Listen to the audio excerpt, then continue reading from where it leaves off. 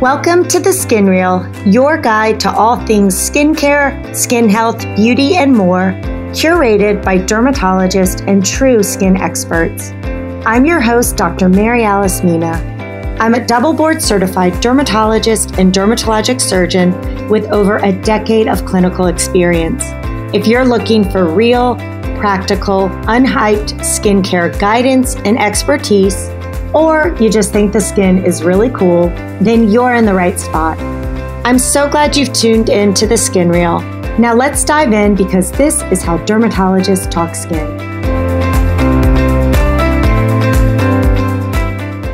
Hi, everyone. Quick disclaimer here before we start. This podcast is for educational purposes only and is not a substitute for professional care by a doctor or other qualified medical professional.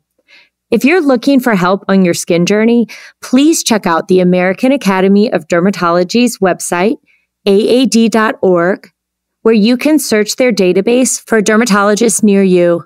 It is so important that you have someone in your corner who's well trained, licensed, and board certified who can help you make decisions when it comes to your skin health. Okay, got it? Great. Now for the fun stuff. Hi, everyone. Thanks so much for joining me on this week's episode of The Skin Real. I am really excited. This week we have Dr. Mara Weinstein on, and a few weeks ago we had an episode talking about how to make the most out of your general dermatology visit. And this week we're going to be talking about how to make the most of your cosmetic and your filler appointment with your dermatologist, because those are going to be really different appointments. And Dr. Weinstein is going to help shed some light and knowledge all about that. She is a board certified dermatologist and the director of cosmetics and laser surgery at the University of Rochester Medical Center in upstate New York. She earned her bachelor's degree from Princeton and then went and did her dermatology residency at the Cleveland Clinic in Ohio, followed by a prestigious laser and cosmetic fellowship at Skincare Physicians in Boston. And we've actually had a, a bunch of the skincare physicians on the podcast recently. And one exciting thing that Dr. Weinstein and I connected over is that we both lived in Guam, which is a small Pacific island. So it was really fun to meet uh, someone else from Guam, although we didn't know each other when we lived there. But, anyways, Dr. Weinstein has received numerous awards. She's an invited speaker nationally. She has written tons of peer reviewed articles and also uh, has co authored several chapters in dermatologic textbooks.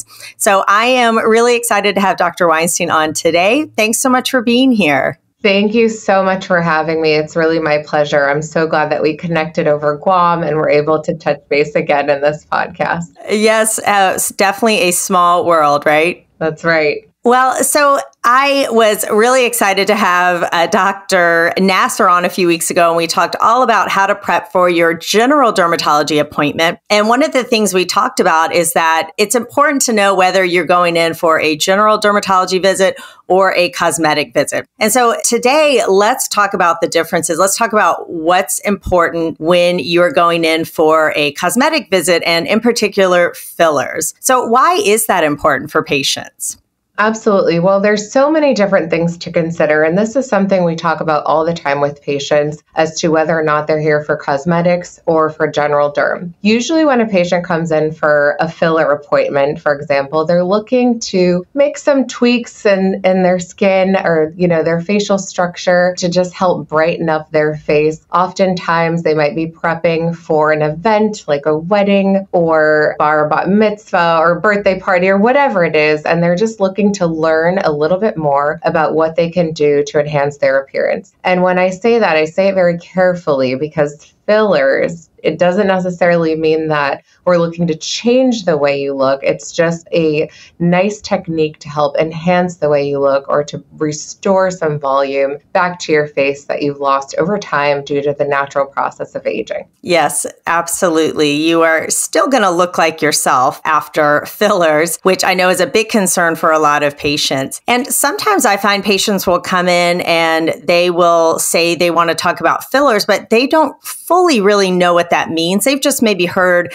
their friends have gotten it or someone they know has had it. And sometimes they're not even talking about fillers, they're talking about actually toxins. So, can you just let us know what are fillers? Yeah, absolutely. That's important to distinguish. And, you know, I'll just start by saying, in general, a nice way to think about it is we use toxins for the upper face, right? So we use them to relax the way that our muscles move. So it prevents that nerve communicating with the muscle so we don't form etched lines, typically in the upper face. Think frown lines or forehead lines or that barcode across the forehead. So if you just sort of wrap your head around that, that's where toxins have a sweet spot. Fillers, on the other hand, are meant to replace volume that has been lost over time due to the natural aging process. So, as we get older, we lose collagen, we lose that formation and production of collagen. It slows as early as age 26. And we also have some uh, mobilization of the bone structure in our face and some fat pads. And so all of this shifting creates areas that tend to look hollow or sagging. And that's where fillers come in. So we use them to replace volume in the lips, for example, or in the mid or lateral cheek or in the jawline. We can even use them in the neck and the chest. So if you just think about fillers as a technique to replace volume,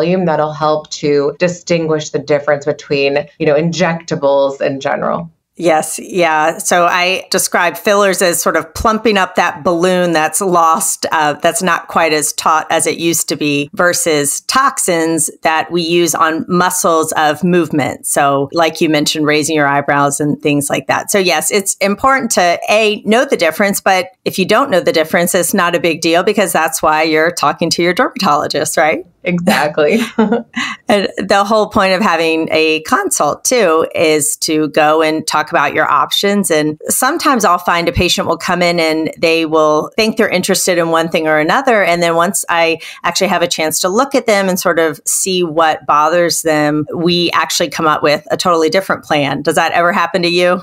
All the time. It happens every day. And I think that is really the beauty of communication and education that we do in the office, right? As board certified derm surgeons, we've spent over 13 years of schooling to really hone in on the intricacies of the face and facial structure and the body and the skin. And so that all reveals itself in our conversation on that initial consultation. Yes, absolutely. And I like what you mentioned earlier. A lot of times it is a big event or something important coming up in the patient's life that will bring them in, especially for that first visit. And that's where they want to discuss what options are available and, and fillers in particular. Now, if someone does have a big event coming up, do you recommend that they see you a week in advance, a couple days in advance, a month in advance? What do you recommend? I recommend at least eight weeks in advance. So you can cheat and do six to eight weeks, but at least that time frame to really give yourself a chance to figure out what it is you want to achieve and then also have the product or the treatment be able to settle into your skin. And so you're used to that new look. Uh, maybe take a few pictures, make sure you like the way it looks before that big event.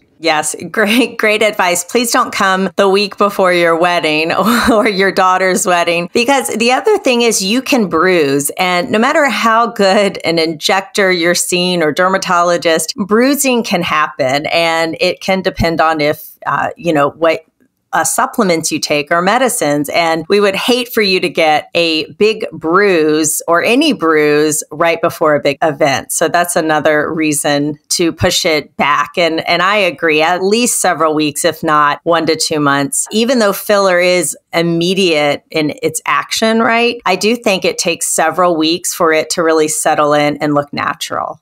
Yes, I agree. And especially with the, well, there are so many different types of fillers, right? So if we kind of break it down, the most commonly used filler is comprised of hyaluronic acid, which is a naturally occurring sugar molecule in our bodies. And it is then formulated into a gel substance that comes in a vial, and we inject it um, by the vial. And there's different formulations that are appropriate for different areas of the face, right? So we can use a thinner, let's say thinner formula to inject into fine lines lines, finely etched lines around the mouth, for example, or in the lips, and a thicker formula to inject into, you know, the deep cheeks to really lift and give volume. So there's so many different types of fillers and so many different formulations. And I think it's important also for patients to understand that which one we choose or which one is appropriate for you might not be the one that your best friend just had. And so when patients come in I often find they come in if, if they know they want filler and they say, you know, I want this kind of filler. And we assess and we talk. And another point is that education piece. We, you know, that might not be the right filler for them. So I explain the different types and what's appropriate for where on the face or, you know, the body. And we go from there. Yeah, absolutely. And I think sometimes it's less important which filler, but use the one that your dermatologist is recommending and that they have the most familiarity with because they will be able to make that filler look amazing because they know how it feels, how it handles, they know how to place it correctly. So don't worry so much about which name brand per se. I would say really trust your dermatologist instincts, especially if they do a lot of these procedures. That's right. The other important thing to know about your filler appointment is to kind of be prepared for what to expect that day. So come in with a clean face, no makeup. Oftentimes we're waiting 10 15 minutes for patients to wash their makeup off um, and and we get it you know you might be coming from work but it's important to know that we're going to ask you to remove your makeup so that we can really assess and evaluate the facial structure at that time without you know contouring it's also important to point out if you have cold sores or if you get cold sores often, because if we're injecting around the mouth, it could stimulate a cold sore or aggravate one, and we certainly wouldn't want to do that. The other thing to note is if you have a dental appointment coming up in the next two weeks, or if you had one two weeks in that time frame uh, within two weeks prior to your appointment. And the reason being there is with dental appointments, especially after filler, the dentist, you know, is going to be in your mouth and manipulating tissues in the lips and the cheeks, possibly and most likely areas where the filler was placed. So you don't want that manipulation to alter the placement of your filler. And the second point with dental procedures is oftentimes it requires an injection of anesthesia. And so in theory, that needle injection point can seed bacteria from your mouth into your cheek or into your skin where the filler was placed and then lead to an infection. So we always counsel that you avoid dental procedures at least two weeks. You wait at least two weeks after you have filler. Yeah, that's a great point. And I would also just mention when you're coming in, especially for your first time for a filler appointment, even though you're coming in for cosmetic, purely cosmetic, we still need to know about any past medical history, past surgeries that you've had. Please make sure you have your medicines up to date. And again, it would be key to know if you're on blood thinners, aspirin, and um, certain supplements, right? So even though it's just a, co- you know, you may say it's just a cosmetic visit, why do they need to know? But but these things are important. And to your point about cold sores, things like that, we need to know that. So be prepared to have that ready to go so that we can um, have a complete history from you. Yes, and in terms of supplements, it's easy to remember if you just think about all the G's, right? So garlic and ginkgo and ginseng and green tea, all of these things can thin your blood, and most people don't even realize um, that that is a, a fact. I have a lot of patients who are avid green tea drinkers. And you know they'll be particularly oozy that day and we'll say did you know did you have green tea today or coffee? And they'll say yeah i had a big cup of green or a big mug of green tea this morning. And so that's just something to know. and then in terms of bruising of course um, anti-inflammatory so ibuprofen aspirin um, any blood thinning medications definitely talk to your doctor about that before you come in. Could be stopped about two weeks prior. And then ways to prevent bruising. I'm not sure if you do this in the office, but a lot of people counsel on eating pineapple or taking bromelain supplements two weeks prior to a filler appointment, which bromelain is an enzyme that can help prevent uh, bruising. And then also arnica comes in a cream or even a pill supplement that patients can take after the appointment to help reduce swelling and prevent bruising. Yes, definitely. And th- those are great tips. And, you know, if a bruise does occur. Sometimes you can um, have it zapped out with laser if you've got something important coming up, but you also can wear makeup and camouflage it if needed. Yeah, that's the great thing about filler is post treatment there's really nothing to do. There's really no restrictions beside the dental appointment point that we made. I don't usually counsel on, you know, restricting exercise or any anything really. Yeah. Um, as just as long as they're not massaging your face. Exactly. Um, with hyaluronic acid fillers, or going in for a facial or something like that um, soon afterward. Yeah, we're we're kind of more talking towards those hyaluronic acid fillers, aren't we? And instead of the biostimulatory molecules, which are not technically fillers, but yes, they do fill the volume. But yeah, I don't I don't routinely recommend. In fact, I say don't massage, don't don't touch. Let your natural movements and talking, speaking, things like that move the filler where it wants to be. Now, we mentioned not wearing makeup, come in prepared with your medical history and all that. What happens when you're actually in the room with the doctor and you're ready to get your filler? What are sort of the next steps? Yeah, so that is that's the fun part, right? So I give you a mirror or usually use a mirror in the office and we sort of break down the areas that we're going to work on that day, particularly around the mouth can be very painful. And so, if that's the case, we apply some numbing medication there. And it's just a cream that sits on the skin for about 30 minutes. And that really helps take the edge off and makes the procedure very comfortable. And so, if we are injecting around the mouth or the lips, we'll apply that numbing. And so, there's a little bit of downtime there. But let's say we're going straight for the cheek. So, there's two different techniques that can be used for filler. Um, the first is with a needle, and it's usually a very small gauge needle. It just feels like a little pinch when injected. We give you a little stress ball to hold, which uh, a lot of patients love, and it helps. And the other technique is with something called a cannula, which is actually a long but blunt tip device. And so we use a needle to make a little hole or a port to advance the cannula. And then once the cannula is under the skin, we inject the filler, and it's usually, again, a very comfortable procedure. So there's not much to it other than a little bit of pain on that initial prick, but most patients tolerate it very well. And you know afterwards we might hold some pressure. It's totally normal for some areas to bleed. We hold pressure. We might notice this you know first signs of a bruise and so we can address that as well. But it's a pretty quick visit i would say. Nothing really to it other than the numbing portion which you might not plan for initially and then the injections yeah. So if you are going to have the numbing, there is that downtime initially. And most of the hyaluronic acid fillers, in fact, maybe all of them have numbing lidocaine in them. And so once the first pricks, you'll feel a little bit, but then it, it numbs the area anyway. So it's pretty comfortable for most patients. I would say maybe with the exclusion of the lips. So those can be a little tender. And um, I'll even do a block uh, for some patients there if they don't mind being numb for a little bit because it can be, it, it can smart, it can sting for sure. Yeah. And, you know, with filler, the great thing is, like you said earlier, is that immediate result, right? So the beautiful thing about lips is after they're injected, you can look in a mirror and you can see that augmentation. And it's just such a wonderful thing to a gift i think that we can give to patients. Um, most often they're very happy. Yeah. And um, usually initially it looks a little more swollen. Yes. so sometimes i'm not sure if this happens with you but a few days later they'll call and say oh i liked the swelling. I want to come back for more.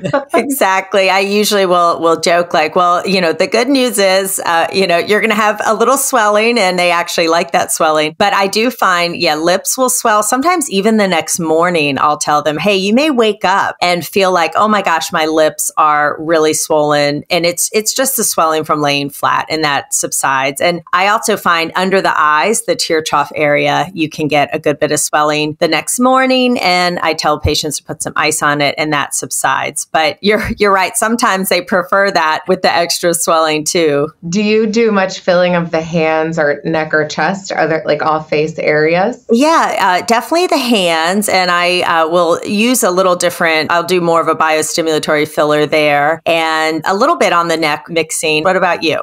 Agreed. So I like to use biostimulatory fillers in those areas. And these are fillers that are a little bit more liquidy as they go in. Um, and so the result isn't as immediate. We do have to wait for it to stimulate collagen. That's that's the beauty of these. Um, and they're also thought to be a little more natural. So patients who don't like or don't like the concept of that immediate plump from hyaluronic acid will often turn to the biostimulatory fillers. But I do quite a bit on the neck. It helps with that crepey neck appearance. Mm-hmm. It gives a little bit of tightening and sort of gives it a little oomph, I would say, right as we get older and things sort of start to look thinner and more drawn. Yeah. And then for the chest, I find it really helpful for those vertical lines that start to form in the, the creases, especially where the breasts kind of come together. And we've had patients as young as, you know, late 20s come in for this um, who maybe have a, a large chest and have noticed the skin sort of creasing in that area. Also, you know, history of sun damage or sunburns to the décolleté can augment the look of that. So that's really where I find biostimulatory fillers to be helpful for the chest. Yes. Absolutely. I, I, think those are great when you need a little more bang for your buck, right? And I'll dilute it pretty thin. Mm-hmm. And the results, like you said, are not as dramatic initially, but over the long term, I think you get better fill and more natural results with that. And one thing we didn't mention earlier that I always try to do religiously with all my patients is take before pictures because you only have one chance to take that before picture. And a lot of my patients, at least here where I practice, they are going for a more natural conservative look and they're really nervous that one syringe of filler is going to make them look overdone. And so I like to do these before pictures and then I can show them what it looks like and it helps reassure them that, you know, they don't look overdone and usually they end up wanting more. That's right. Pictures are priceless, um, especially that first visit. We do a series of six to 10 or so pictures prior to the visit, and we have everybody wear headbands so your hair is completely out of the way. It's not a great look. Most patients don't like to see those pictures, but it really gives you an accurate representation of facial structure. Yes. Right? And that's when we boil down to that's really what we're looking at. Yeah. And so we, yes, we do the pictures, but in terms of the syringes, so I think it's important for our listeners to hear that one syringe is a fifth of a teaspoon.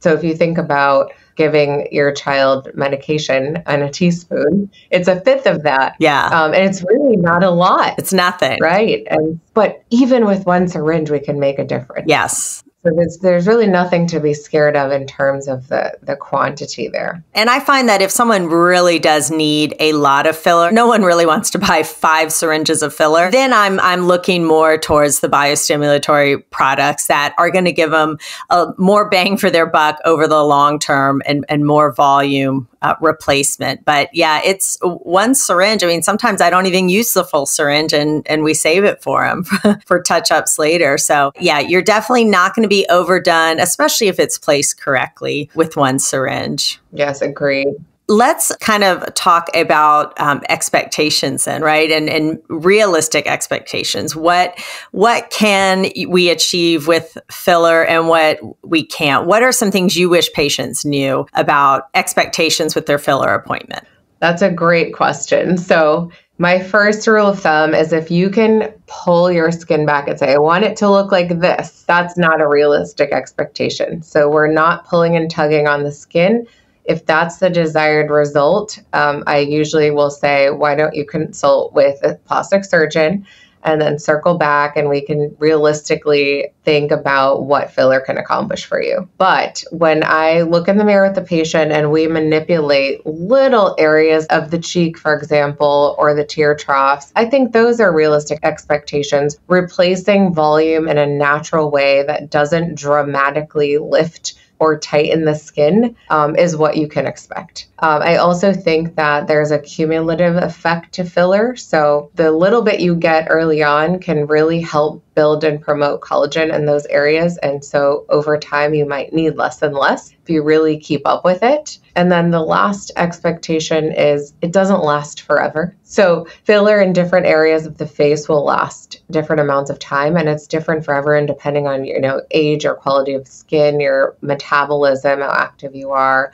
just what your body does with this substance. And we find that around the mouth, it tends to last a little bit um, less than in you know areas where you place it a bit deeper like the cheeks. Also the mouth and lips are highly mobile areas and so it's not going to last as long in those areas. And so typically we say about you know like six to nine months around the mouth and then cheeks jawline other areas might last about 12 to 18 months and that does depend on what type of filler you're using Yes, yeah, great points. And if you've never done any filler products and you come in at 70, you are going to need a lot more than someone who has been doing a little bit along the way, even starting in their 20s or, or 30s. So that's such a great point. I do find it builds, it stimulates your own collagen, and you never quite, even when the filler wears off, you never quite go back to where you started, which is another perk of doing it. So you may be surprised if your dermatologist says you need a couple syringes in the beginning, but what you'll notice is that you won't need that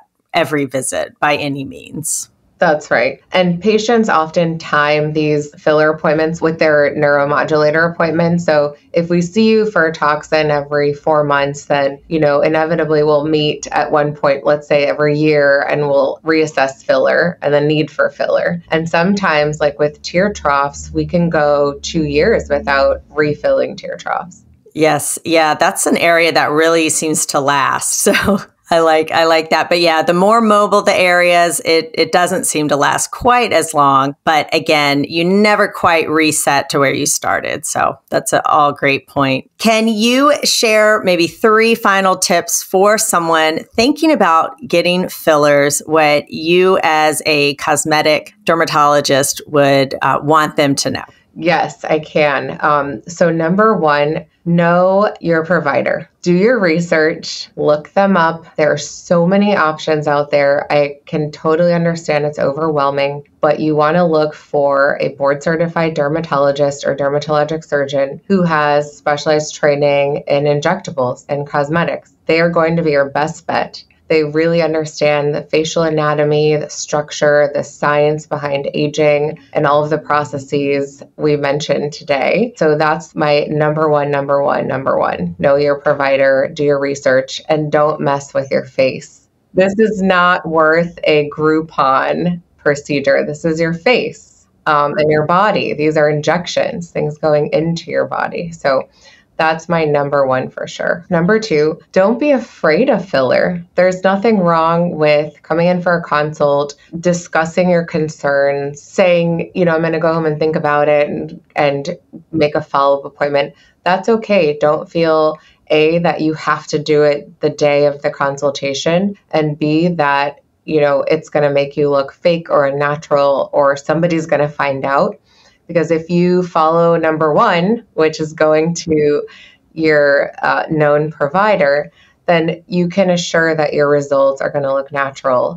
And I oftentimes find that patients will say, you know, their friends say, did you get a lot of sleep last night? Or did you just come back from vacation? You know or did you get a haircut? So something's different and better but they can't pinpoint what it, what it is and that's that's gold. Yeah. That that's what we're going for, right? You don't want people to know you had something done. You just want them to say, "Wow, you look really great." Exactly. Um, and number three, you have to keep up with your anti-aging processes and visits. This is all maintenance, so rarely anything in life is one and done. And so, really think about it as a taking care of yourself step um, you know, step in self care and health and maintenance. If you go to see your dermatologist for these procedures and there's something concerning on your skin or anything on your skin that looks abnormal, they're also highly skilled, trained physicians and oftentimes can catch or address or answer questions about things that you might have been wondering um, that are just happening on your skin. So it's sort of a double benefit to seeing yeah. a board certified dermatologist. So, number three is really to maintain a schedule for yourself and check in with your dermatologist for those. Yeah, that's a great point you brought up at the end. I don't know how many times someone's come in just for a cosmetic thing. And I'm like, well, we can do filler, but let's also address this lesion on your nose. And, um, and it's a great time during the filler appointment to also just talk about other anti aging strategies for someone. Because if you're coming in for filler, it lets me know that you are wanting to invest in yourself and look as good as you feel and maintain. And so we can also talk talk at that visit about how important wearing sunscreen and staying out of the sun and and having a, a good skincare routine can help. So an all great reasons to uh, be seeing your board certified dermatologist for sure. Well, Dr. Weinstein, this has been a lot of fun, really informative. Where can our listeners find you or follow you if they want to learn more about what you're up to? Yes, thank you. I would love that. Um, I love the engagement and, and being able to educate, and, and thank you for having me. So, I have a page on Instagram. It's at Dr. Mara Weinstein. And I also have a TikTok account, uh, which is very fun. And it's at Dr. Mara Weinstein. So very easy. I'm also on Facebook. Um, if anybody is interested, it's it's the same handle at Dr. Mara Weinstein. And I'm looking forward to engaging with everybody offline. Yeah, awesome. Or online. Yes, totally online. Uh, we will definitely add that to the show notes. So um, definitely everyone be sure to check out Dr. Weinstein's handles on social media. So thank you so much, and we'll see everyone next week. Thank you. Thank you so much for listening to The Skin Real. I hope it's been informative, educational, and perhaps a little entertaining. If you enjoyed this podcast, be sure to like and subscribe and share with a friend. Don't want to stop your learning just yet? Head on over to theskinreal.com for show notes, blog posts, and so much more. Until next time, skin friends.